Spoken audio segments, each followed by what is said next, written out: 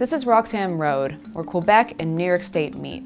It's one of the many areas along the border dividing Canada and the United States where you could literally walk onto Canadian soil. And people are doing just that.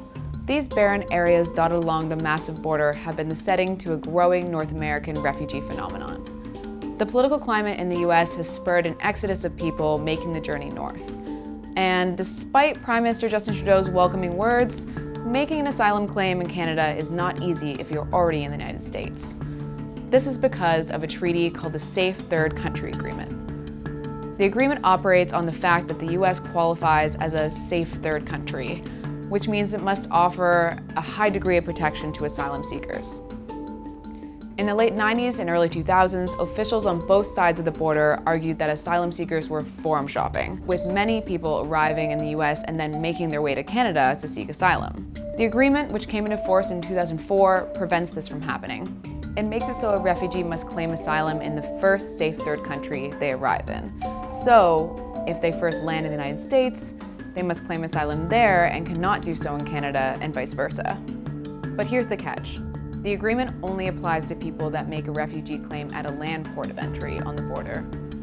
People that do that are always turned away, unless they have a direct relative living in Canada or if they're an unaccompanied minor. But if asylum seekers cross the border illegally at one of these unfenced areas, they can then make an inland asylum claim.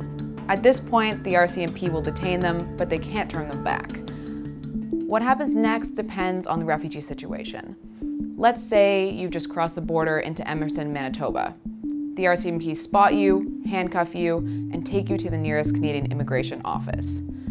When you arrive there, the Border Services officers will do a background check to determine whether you're a security risk and ask you questions to find out whether you're eligible to make a refugee claim in Canada.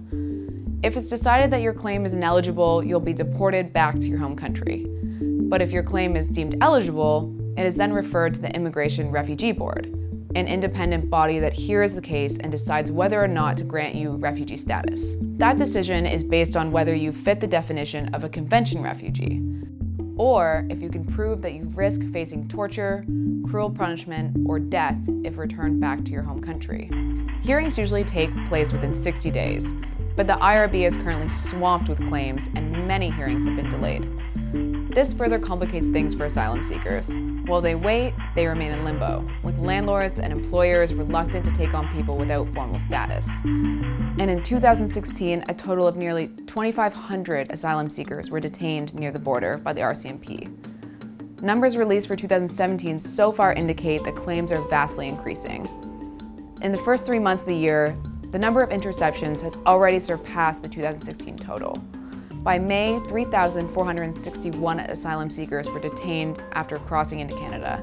And this doesn't even cover asylum seekers that sneak in without detection and then later go to immigration offices.